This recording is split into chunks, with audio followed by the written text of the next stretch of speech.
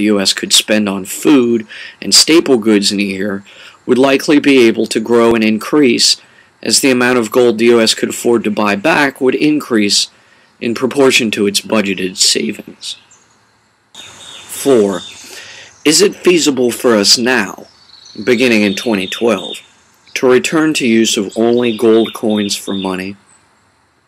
Besides the popular sentiment to do so, nothing else is really prerequisite to being able to accomplish such a transitional phase. The U.S. government, however, remains blissfully ignoring this fact as of yet. There are arguments that can be made that the planchet factories are not in place to mint gold coins fast enough to provide the U.S. national economy with enough gold to circulate fast enough for everyone to be able to begin substituting it for paper fiat currency USD bills. If the alternative were that a, quote, run on the dollar, unquote, were to occur in conjunction with hyperinflation, and U.S. bank holdings not be retrievable in gold, then obviously it is preferable at least to try. However, in truth, there is a risk of underproduction due as much to unpreparedness to mint gold coins en masse in terms of factory production capacity, as due to the Fed having sold almost all the U.S. government holdings of the gold commodity to the IMF and China. The reason the Greek government is undergoing a revolution now is that due to the Fed bailing them out in USDs instead of gold, they have cut their austerity programs, equivalent to the U.S. Social Security programs, and declared, essentially, bankruptcy to their U.S. creditor, the privately owned Fed.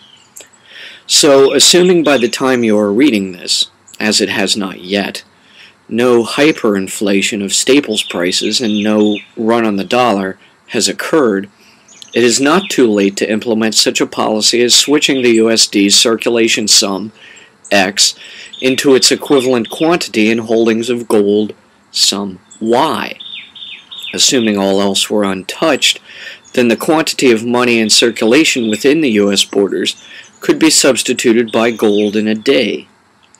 Then the only question is, how much gold would the quantity of the entire U.S. circulating liquid assets of our fluid economy buy? 5. How can we implement this transitional phase to replace all circulating cash currency within the borders of the U.S. economy with gold coins? The answer is twofold. A. Repeal legislations that enact legal stipulation against gold ownership, the tax import and the tariff transport of it, and pass firm legislation that the U.S. government, independently of the Fed private bank's holdings alone, will acquire until it does possess enough gold to honor with weight of it all backings of consumer savings accounts, mortgage assets holdings, and stock rated bonds held by FDIC member banks, for a start. Ultimately, it would help a little to audit the Fed, but it is possible to pass legislation to effectively outmaneuver it in its own tactics, and that serves the same purpose as simply abolishing it would. B. Enforce FDIC member banks to begin circulating the gold coins in exchange for currently circulating paper cash, and set up a new pricing standard based on assuming all transactions will be able to be translated into a gold coin amount as easily as possible.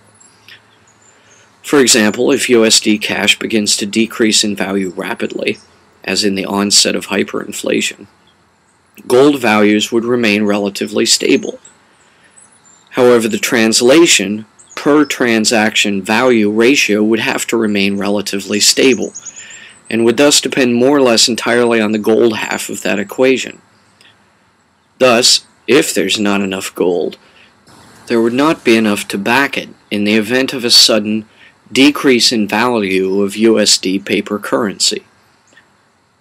Again, it's not at all a question of not enough gold because any gold is more than none. It's a question of providing additional consumer safety assurances and increased paramilitary presence in the form of protecting and servicing the gold dispensary customers, i.e., the FDIC insured banks. Finding people to fill jobs protecting the transportation and distribution of a new gold currency during such a transitional phase would require implementing a new sector of the economy, requiring the homeland deployed U.S. military, private military contracting firms, state militias, acting public police agencies, and all gun carrying citizens to coordinate into a single sector of security providers for the transfer of the U.S. government holdings of gold fairly to the U.S. citizens to use as circulated currency. There would have to be a single law stating quite efficiently how to solve both point A and point B, and that law should ensure a new level of consumer protection and improving global market confidence. The Gold Coin Act of 2013 must be such a law. 6. Will implementing such a transitional phase to restore the U.S. economy to a circulated gold coin result in accomplishing the goals of ensuring consumer protection and improving global market confidence? Yes, it is possible to replace all paper money with gold coins in bank holdings in a single day. Within a week, all paper money could be purged and replaced by gold coins. However, the trickiness results not only in distributing the holdings of gold to individual banks to begin the transitional phase of redistribution, but in providing a temporary transitional currency exchange rates window between the value of the USD Fed notes and the price of the gold commodity on the international commodities exchange market. For example, if you have gold being traded to FDIC member banks at the rate of gold on a Monday, then there is a run on the dollar on Tuesday, the value of cash drops and the cost of gold and exchange rates skyrockets. Then by Wednesday, the cost of gold would have already become too high to back in exchange by the government to the FDIC banks if they were to run out and need more to redistribute it in exchange as more people close their credit accounts, etc. Essentially, the argument here runs that implementing a return to gold coin circulation is a, quote, doomsday scenario, equivalent to causing a run on the dollar and destroying the economic value of the Fed's paper money. There, thus, would need to be included in the passage of a Gold Coin Act into law a stipulation clause stating quite clearly that no such scenario would be allowed to occur.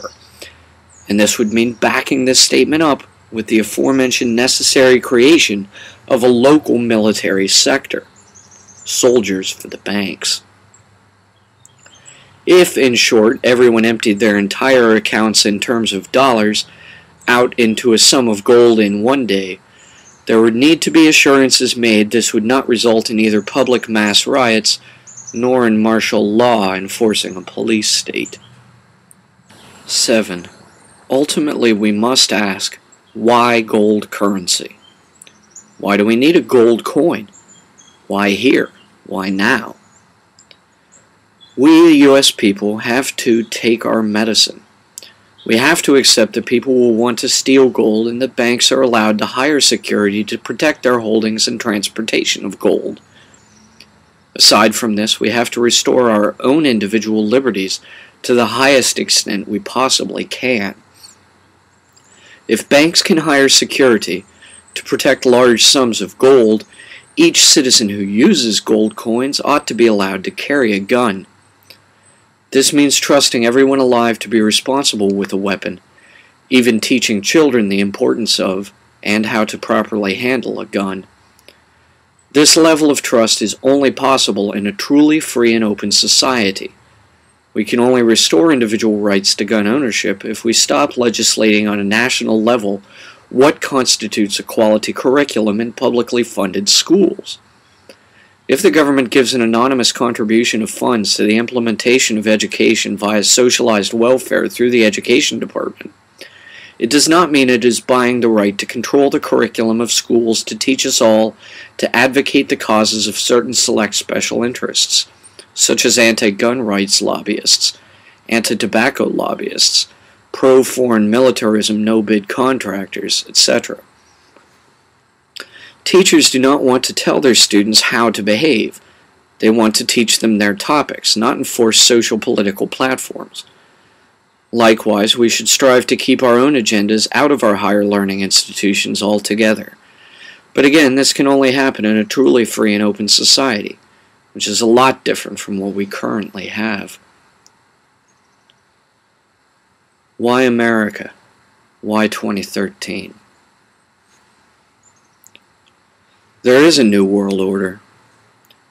There has been a move toward global government for the last 100 years at least that has yielded us today the United Nations. The United Nations arose as a result, a veritable afterbirth, of the Nuremberg trials. The World Court was summoned to try the Axis forces' political leaders for war crimes against humanity. As a consequence, the League of Nations, which was originally created by the CFR, who also bankrupted Germany and then funded the Nazi Party, was reformed into the modern UN. The UN, as a platform for all nations to use to petition for redress of grievances, succeeds. Beyond this, the UN is powerless, and the ineffectuality of NATO and coalitions of mixed national allies to provide troops for any effective multinational military reprisal against individual national tyrants is a joke. For an African nation to be filmed while starving, without even being able to invoke the international aid of global community groups like the World Health Organization and the Red Cross, is a travesty of bigger proportions even than 9 11. The UN provides no foreign aid and no foreign military support. It is effectively useless aside from as a platform for its member nations to stand on and petition for redress of grievances. Now, a world court, on the other hand, is essentially the opposite of the modern UN. In point of fact, a truly just world court would likely be trying the very heads of those nations whose ambassadors sit on the Security Council of the UN now. So we have little choice but to use the U.S. as an example. Whether the current U.S. government system and those who support it and benefit off it like that or not. Perhaps this sets my opinion on this matter apart from many of my fellow Americans.